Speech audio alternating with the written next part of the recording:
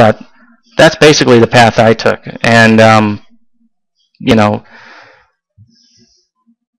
the the process of going from private pilot to commercial pilot. Oh yeah, there's one other thing.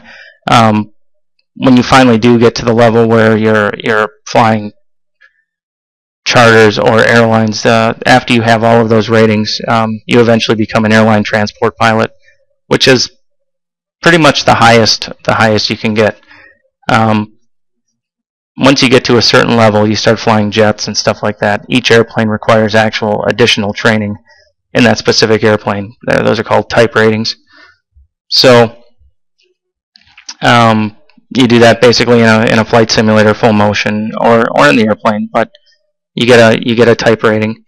Um, there's a lot of testing involved. You're you're constantly taking um, uh, every six months to every year, you're typically getting a new medical certificate, um, which is basically going to the doctor and they give you a physical and, and make sure you're fit to fly. Uh, but that's pretty much it in a nutshell. I mean, that's that's the process of going from not flying an hour to becoming, you know, a pilot professionally. Um, if you have any other questions, just uh, feel free to leave it down there. Um, I'll I'll answer them. Um, you know, it's a good it's a it's a good job. Sometimes the uh, the places you work make it kind of a pain in the butt. Um, you know, that's it's a very volatile industry to be in. You're you know, there's a lot of companies will hire and hire and hire and hire, and then the economy will take a little bit of a turn, and then they'll they'll lay off and lay off and lay off, and companies go out of business, and then you you always have to start at basically the beginning so from this point, if you have any questions, like I said, feel free to give me a, message down there. I'll be happy to answer them. Um, sorry about the Minecraft in the background, but I'm not in the mood to. I'm not having a good hair day. Not in the mood to be on camera, and um, also I had to do something here. And thanks, Mark the Third, for letting me execute you in my little torture chamber. Um, who's uh, hanging out right there.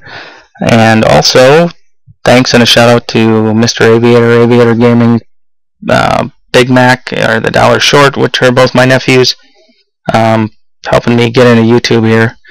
Um, the Burt Dude, Bert521, Burt's Got Game.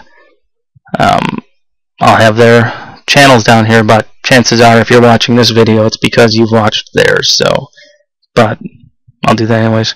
Anyways, um, I'm going to sign off. Uh, I'll end this with a clip of, uh, I believe it was me taking off out of uh, Los Angeles, going to Kansas City. Um, so, anywho, I really hate it when people say this, but, um, you know, the whole sit back, relax, enjoy the flight. Yeah, there's a lot of things that kind of annoy me. I guess I sit in the back of airplanes just as much as I sit in the front of them. And, uh, yeah, the pilot always comes on he tells you everything he's going to do, like, oh, yeah, flight's going to take us up to, uh, we're going to go up to 30,000 feet, and we're going to take a left in New York, and then we're going to go over the Grand Canyon. I think people are just kind of like, yeah, whatever, buddy. We're, you know, three and a half hours late, and I'm packed in a cattle car with 200 stinking people. I could, anyways, uh, don't mean to ramble, but, uh, oh yeah, also shout out to Stormy Lilac, um, 93. She's cool too. And, uh, so yeah, here, check out this uh, video of uh, me taking off. Until next time, I'm Mr. Oceanic Pilot, and um, you all are watching this. So thanks a lot. Thanks for just watching, and uh, we'll see you with my next video. Don't know what it's going to be, but it can't be any worse than this one. Bye. 492, wind 240, runway 24 left, they got to pull up at X492.